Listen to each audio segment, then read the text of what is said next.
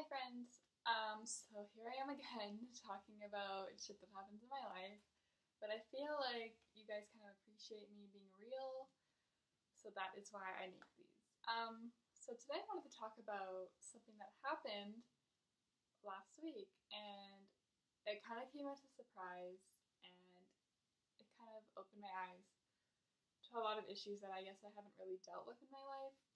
So I kind of wanted to tell the story to you guys. So um, I have mentioned before, I think, that I am doing early ch- early childhood education for school, um, and it is absolutely hectic right now. I have at least two to three um, presentations or projects due a week, and then I have um, two tests um, a month. So it's it's kind of crazy right now. Um, so last week I had to do a bunch of presentations, and I get really nervous when I present. I'm not very good at it. Um, I just I can't.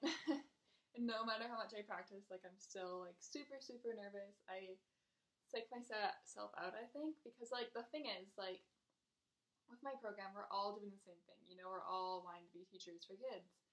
So I don't know why I get so nervous. I just do, even though I know no one's judging me because we're all going through the same thing.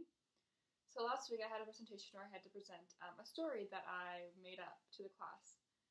And when I went, I didn't think I did that bad, you know? I was like, it didn't go as smooth as I would like because, like, um, I'm not good at making eye contact with people when I present. I, I'll look around the classroom, but I won't look at people. I'll usually look above their heads, and like it's pretty obvious when you're like an audience member watching me. Um, and so I could tell I was doing that, and I was like freaking out a little bit. I like forgot my words. I was saying um quite a bit. and after I was done, I went back down to my seat, and my friend was sitting next to me, and I said to her, "Oh God, I don't think I did that good." And she looked at me, and she made like a cringe, roofy face. You know what I mean? And she's like, "Yeah, um, don't be offended, but that was really awkward." And like, I know it shouldn't have been like a big deal, but in those types of situations where I'm like presenting in front of a class, like I freak out a lot and I want to like do well and I can't handle like like it's hard to explain. So like if I'm presenting in front of a class, I don't want the people watching me to be like, ooh, that's awkward. Ooh, I'm cringing. You know what I mean? Like that makes me super like emotional and like scared and it's like fuck, like I just want to like be perfect all the time, which is like I have to learn that I can't be perfect all the time and I'm gonna fuck up and like it's okay to fuck up. But like I'm okay in other situations when I mess up, but like in this type of situation where I'm like in front of a class with everyone watching me, like I cannot handle it. And so this is going on while other people are presenting because we're going one by one through the class. And so I'm just sitting there and I'm like trying not to freak out. I'm trying to calm myself down. I'm like, hey, it's not a big deal. It's fine. You, yeah, you didn't do good, but like calm down. It's not a big deal. And I could, I kept thinking about it. I just couldn't get it out of my mind and I could feel the tears start, and I could feel my face like just like I, when I cry, like I know when it's coming. I know how my face gets. It's just bad, and so I was trying to hold it together. I was trying so hard, but I could feel the tears start to come out, and I was pretending, trying to play it off as if I was yawning. So I kept yawning and yawning, and I could feel like people could kind of notice. So I was like, "Fuck!" Like I gotta leave. So I stood up really abruptly, left the classroom, pretty much ran to the bathroom and as soon as I got in that stall the door, I just started sobbing. And looking back on it, like, I don't understand why I got so upset. But I think it's just the thought of, like, oh my god, people are judging me. I'm not good enough. Like, I am embarrassment. Like, why, why is this me? Why is this my life? And, like, I don't know why I reacted that way. I, uh, I, it's not a big deal, you know? But I think I just, I get so in my own head and I get so stressed out and I, just assume like I cannot handle like people thinking bad about me and I gotta understand people are gonna think bad about me no matter what I do and that's okay. Like who cares if like someone doesn't like my outfit or like doesn't think I'm pretty or doesn't like my lipstick color. Like it does not matter. But like I cannot handle that. I have to be or at least like don't have people tell me those things. Like if I don't know, it's really, really hard when I try to explain it out loud, but like I try so hard to be perfect or like be what people want me to be. You know, um, I tr- try to look my best all the time. When I go to school, I wear makeup and I try to look perfect and like if I think that people like are judging me, like I get really upset. Like um, for example, I had this friend in my class who's the same one that told me that my presentation was awkward, which like she's allowed to have her opinion, but like if she knows who I am, I don't think she should have said that. But that's besides the point. So anyway, um, she's very.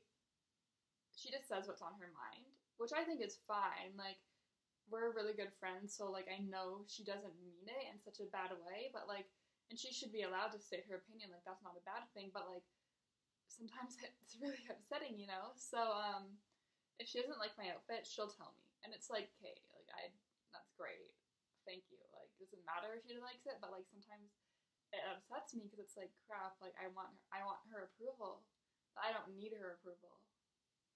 I don't know. It's weird. And So like I cry a lot. That's just that's a part of who I am. And sometimes I feel like I cry so much that like people are like, "Oh, here she goes, she's crying again." Like it's not like an issue, uh, like a surprise to anyone anymore when I do cry because it happens so often, especially at work. Like at work, I think I've talked about how I cried in my last video. But I, if one little thing goes wrong, if I have a customer that isn't happy, or like if I do something wrong, if it's my fault, I will cry no matter what it is. I just get really emotional and I think that's something that I maybe need to work on because even though it's fine, like people cry, like it's fine, but it's also like I need to be okay with messing up. I need to not get so upset and like me so much because when those situations happen, when I cry at work, like I it ruins the rest of my shift, and I need to not let it get to that point. I think, um, you know, like I need to be okay. But I don't know. Maybe I need to go start seeing my therapist again because like, um I don't know. It's just like it's hard lately, you know, because maybe I'm just an overly sensitive person. I know it's also like a disorder, and I honestly do think I have it. Um, but I don't know. Like I feel like it's okay to be sensitive, but then it comes to a point where like you need to be okay with um, criticism and with people not liking you and with things going on. You can't just like let it be this huge issue, you know and that's something that I definitely need to work on. But it's hard because it's just part of me, and I've always been that way since I was a little girl. I'm, I'm so sensitive, and I've gotten upset by like every little thing. So I think it's a deeper issue than what I think. I don't know. Um, much that's all I wanted to say. Again, thank you for watching. Um, and if you guys have any advice for me, or if you have any can relate to this at all, I'd love to hear from you. So thanks for watching. Goodbye.